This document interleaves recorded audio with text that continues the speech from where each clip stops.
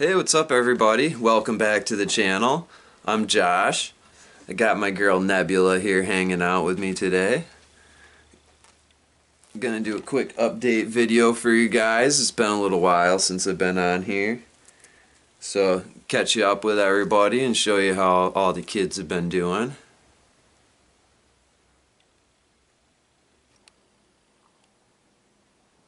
Uh, so you guys can see Nebula's putting on some weight there. She's uh she's up to 607 uh, grams it looks like now. Her belly's all loaded up with eggs. Probably be laying them out here pretty pretty soon. I'm put Nebula back up here on the windowsill. It's been her spot there the last few days now that the uh, sun's been coming back out. Set them up with a uh, nice little heat light there though, just in case it uh, gets a little bit cold out here time to time. But um, still got all my kids and Puff up top here. My, my big boy Puff. He's been doing real good just coming out of his uh, the seasonal brumation there. He's starting to pick up his with his activity levels and stuff. Just went through a big shed. Dropped off a lot of shed on his tail. And then uh, and now he's uh, he's got a bunch of shed up top here. Be dropping that pretty soon. Puff's been doing good. Grab him a super worm here real quick. There, I got him some super worms. I'm trying to beef him up a little bit here. So I've been feeding him a little bit more than more frequently. Just to get him uh, sized up here for spring. There you go. Getting these other ones before they get away here.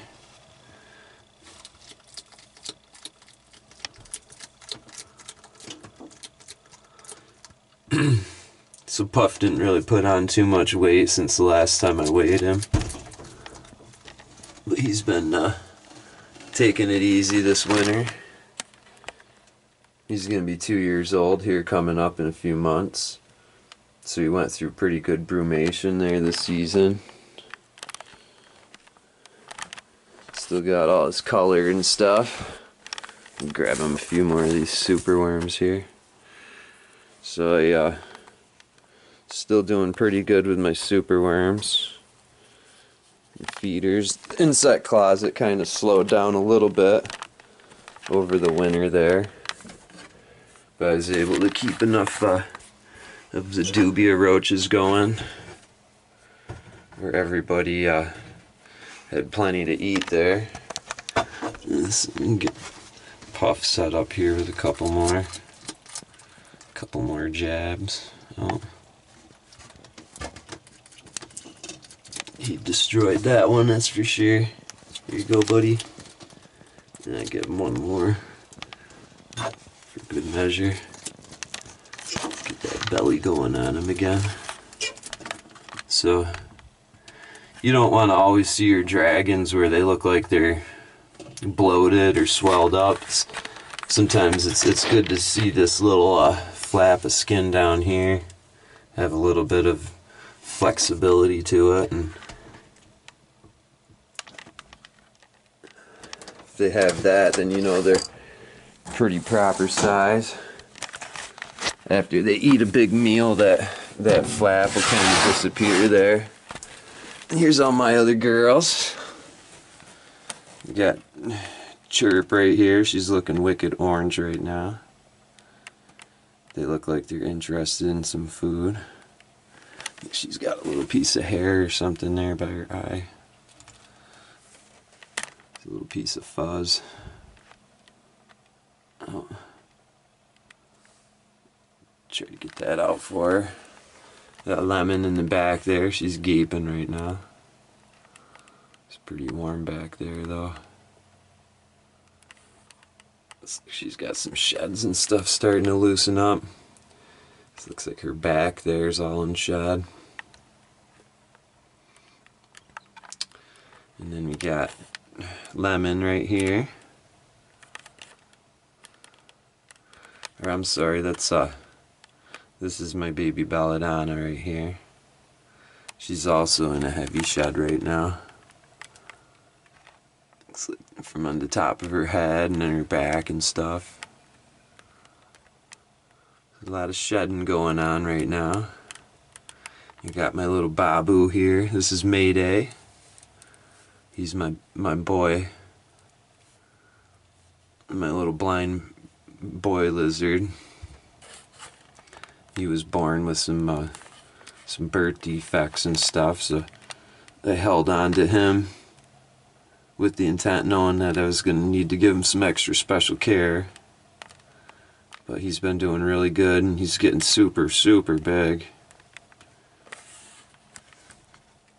Hard to see how big he is with all the girls on him right now, but they're kind of crushing him. So everybody made it through the winter really good. Some of them put on some weight and couple of them were uh, just laying low all winter, not too active. Run the whole range there. Personality types and energy levels and stuff like that.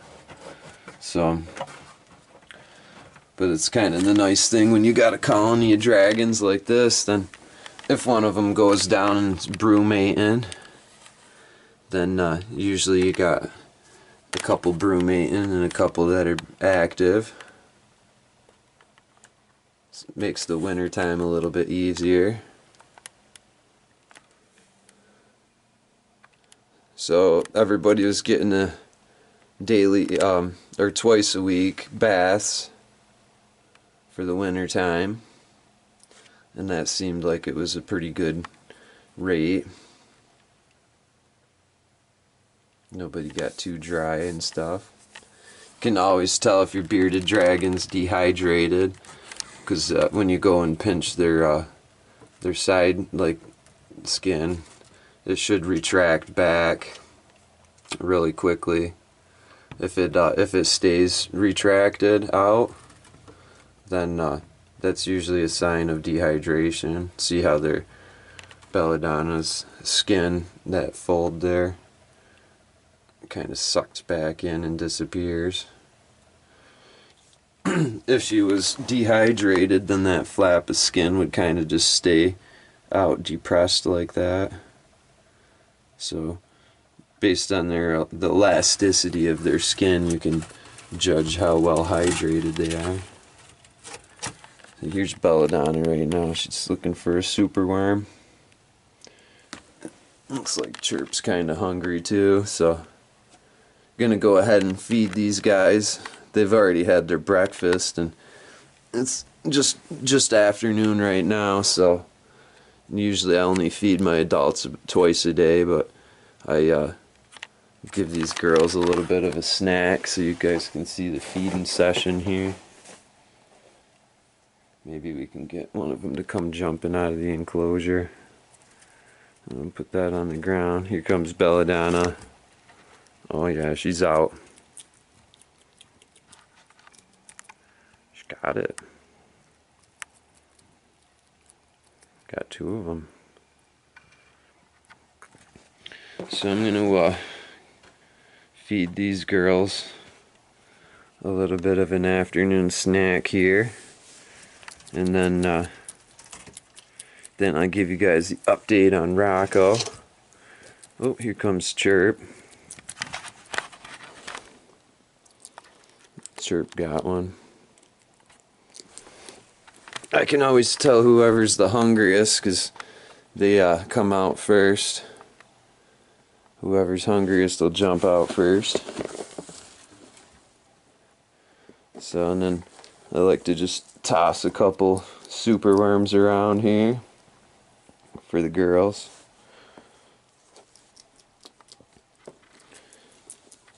And watch them do a little bit of hunting.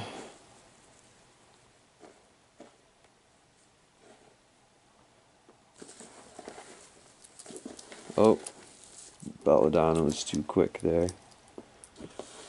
Give him a little bit more distance here. And then we'll have to pull Mayday out and get Mayday to do a couple jabs. He's all alone in there now up on the log so you guys can see how big Mayday's been getting. It's huge.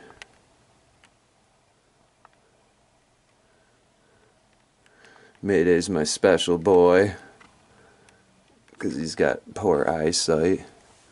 I've had to spend a lot of extra time making sure that Mayday gets fed properly. Doesn't have to compete with his uh, sisters and stuff for food. These girls will just eat all day if they could. Just keep eating and eating.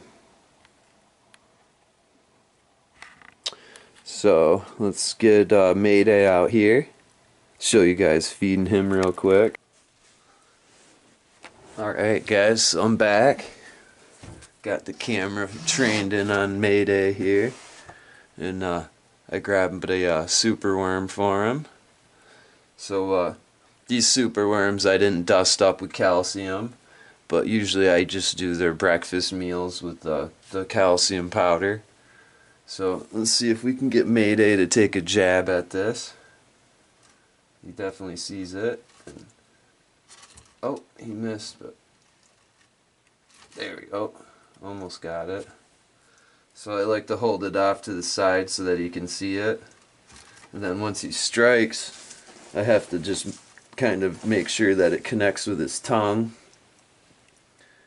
He has a habit of jabbing off to the side and then uh, sometimes he misses it. So then what I like to do is after he's eaten one, I wait till he opens his mouth a little bit. Oh, sorry buddy. I, I wasn't able to get him in time.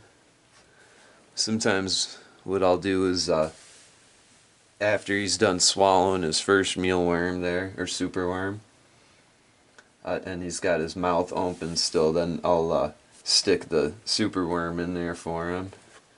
Because otherwise he uh, he has a hard time seeing it to go for that second jab so sometimes it just helps to assist feed him. So let's see. Once it catches his eyesight he usually will tilt his head. I can tell Lemon's gonna really wants this one right now so I'm actually just gonna give Lemon that one That way she's not trying to steal it from Mayday. She's probably going to want a couple more in there too. so we'll do one more for lemon. And then uh, see if we can get Mayday to do another one here.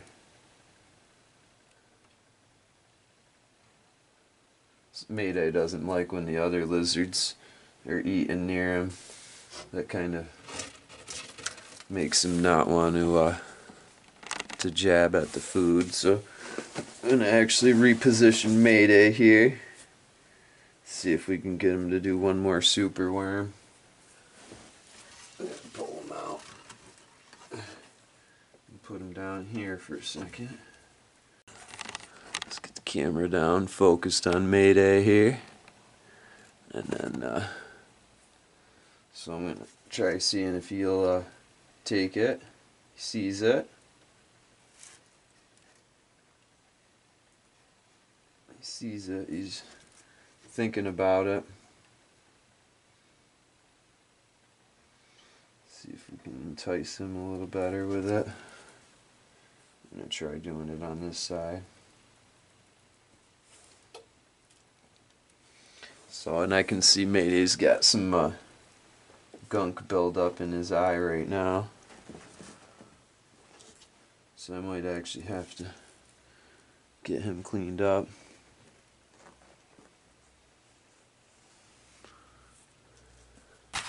So I'm I'm actually gonna pull Mayday out, and we're gonna uh, I'll show you how I clean his eye, and then uh, and then he'll be able to see a lot better. Alright, so I got Mayday pulled out. And we're going to uh, see if we can get his eyes cleaned up a little bit better for him there. So that he can uh, see better. So he's not completely blind, but he definitely uh, has issue with his eyesight. So I like to use saline solution for contacts. And what I do is uh, I get his eye pre-wet there with this, just a little squirt in there. And then uh, I take a napkin that's been folded up like this. And uh, I get one of the edges wet. So, and then really gently, you're just going to come in here. You don't want him fighting it. So I'm not really touching his eyeball, I'm just kind of wiping the lid here. And uh, see if we can get that in camera better. And uh, basically just clearing out all the crud that he's got built up in there.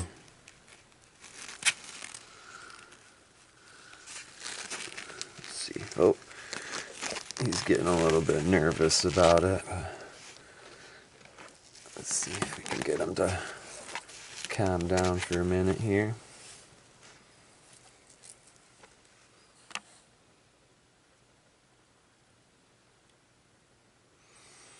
So let's see. Just make sure that got everything there.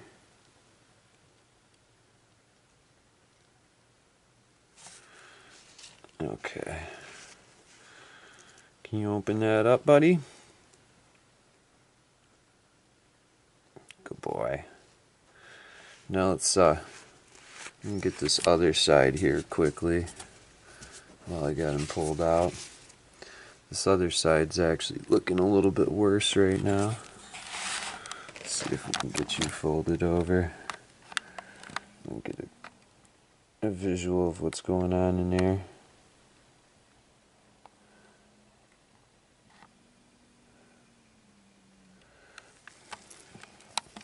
Kind of like uh, viscous tears. So what we're gonna do is switch the camera around just a little bit so you can see the side better. I'm gonna zoom in there. Oh, he's getting a little bit impatient.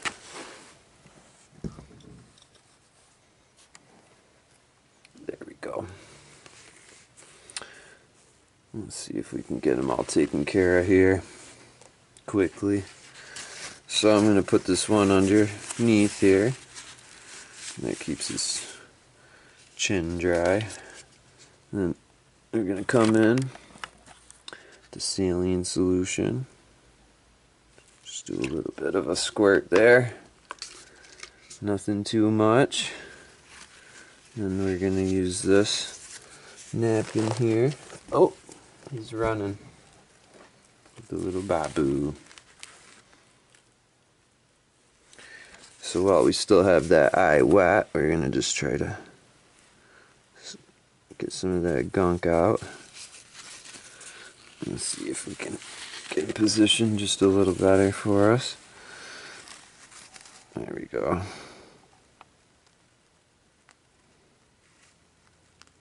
There a little bit of debris in there even. Let's see. That looks a lot better.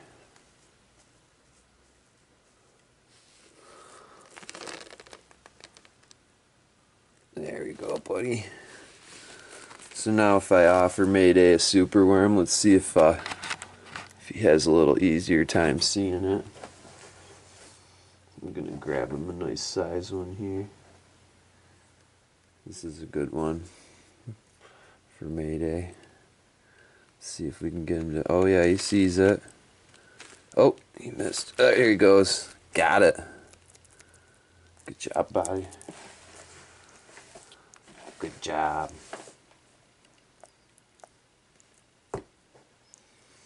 While he's uh, licking his chops here, let's see if we can get another one in there.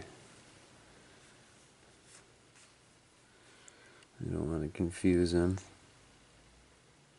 Oh, there he's got it.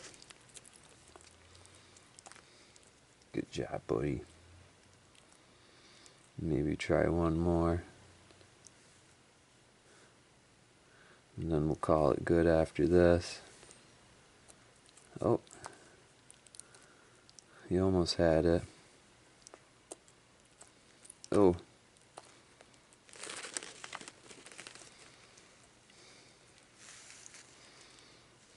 That was pretty graphic. Oh, he's falling. Go, Babu. There we go. I got him.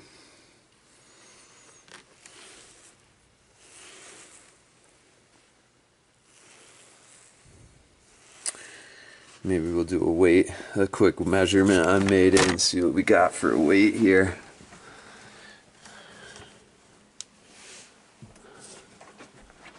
It's been a little while since Mayday's gotten weighed. Let's see what we got.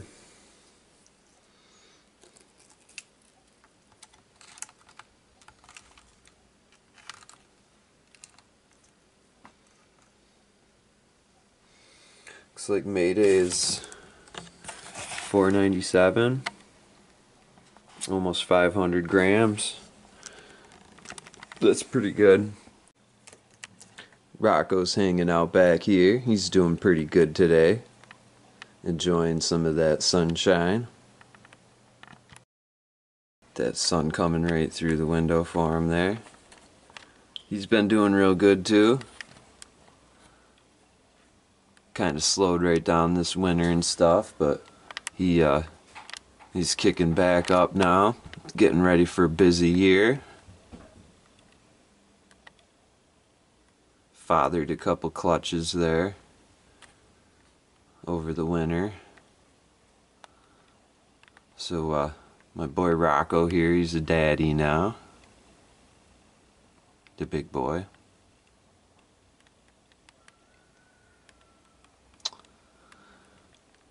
Well, you guys, I think I'm going to uh, cut the video short. It's uh, kind of a long update. I haven't even, uh, didn't even get to Rocks and Nova and stuff, but they're doing good. They, uh, they just been hanging out upstairs there, doing their thing. So, uh, thinking about maybe uh, changing the name of the channel here going forward because we've been starting to grow picking up some new subs and going to be hitting a thousand subs there probably before summer, hopefully. So, uh, thinking, tossing the names around, and I've been thinking about maybe uh, changing the name of the channel to uh, The Dragon Lair. So you guys will have to let me know what you think about that in the comments down below. I hope you guys got something good out of the video here. And uh, I'll catch up with you soon. Till next time, guys. Later.